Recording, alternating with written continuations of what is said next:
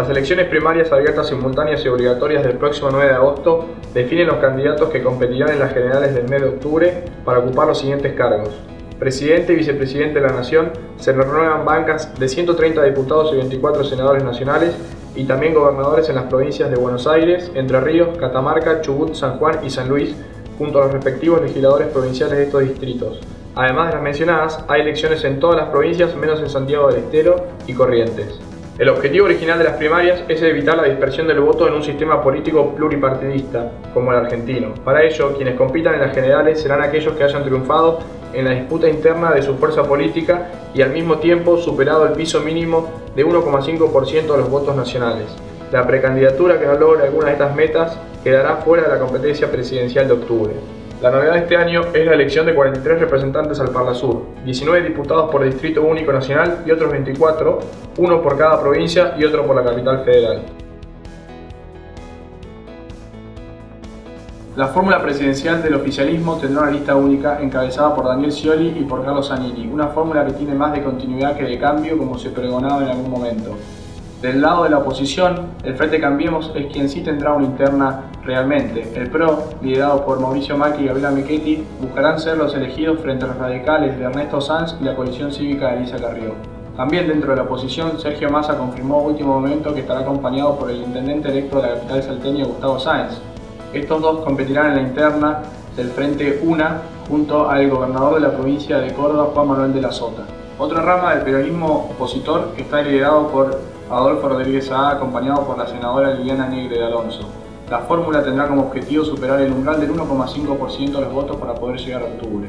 Por su parte, la líder del GEM, Margarita Stolbizer, competirá bajo el Frente Progresista y estará acompañada por el líder cordobés y referente Miguel Ángel Olaviaga. En la izquierda también tenemos varios candidatos.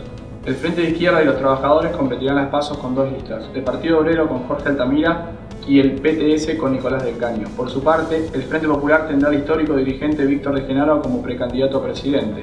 Otro que busca superar el umbral del 1,5% de los votos es Alejandro Bodar, que representará al MST de la Nueva Izquierda. Finalmente, Nuevo Más tendrá como precandidata a presidente a Manuela Castañeda. El Frente para la Victoria presenta una lista única encabezada por Daniel Scioli y por Carlos Zanini. De esta manera, a pesar de que el kirchnerismo había impulsado la implementación de la ESPASO, no tendrá una competencia interna. Así, la presidenta Cristina Fernández de Kirchner busca unificar el voto oficialista y lograr una diferencia importante de cara a las elecciones de octubre que le permita evitar, entre otras cosas, un eventual balotaje. La presidenta de la Nación no será candidata, no competirá en la ESPASO por ningún cargo. De esta manera, tal vez para evitar exponerse ella misma, decidió nombrar a los miembros de su más íntimo círculo de confianza en términos políticos, llenando las listas de las principales provincias y también de los nuevos cargos del Parla Sur. El ingeniero Mauricio Macri priorizó la idea de tener una propuesta 100% pro, 100% pura. Junto a Gabriela Michetti buscarán capitalizar el voto extrapartidario y convertirse en la nueva política por fuera del binomio tradicional peronismo-radicalismo. La designación de las fórmulas del Frente para la Victoria y del PRO dentro del Frente Cambiemos tiende a polarizar esta elección. Ambas propuestas buscan ser diametralmente opuestas y ser los protagonistas de esta contienda electoral, a pesar de la resistencia del Frente Renovador de Sergio Massa por ser parte de esta discusión.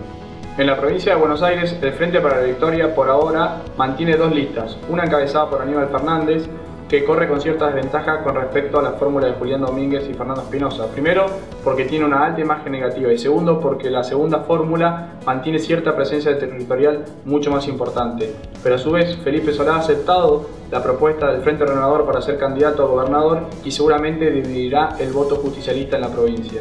En términos legislativos, el próximo Congreso a partir de diciembre estará dividido. Si bien cada una de las fuerzas que competirán en la PASO designaron a figuras políticas importantes para poder rodear la nueva gestión o eventualmente ser la mejor oposición posible, no tenemos que dejar de ver que el próximo vicepresidente tendrá que tener la cintura y la conducción política para poder negociar con los bloques y así garantizar la gobernabilidad de la nueva gestión.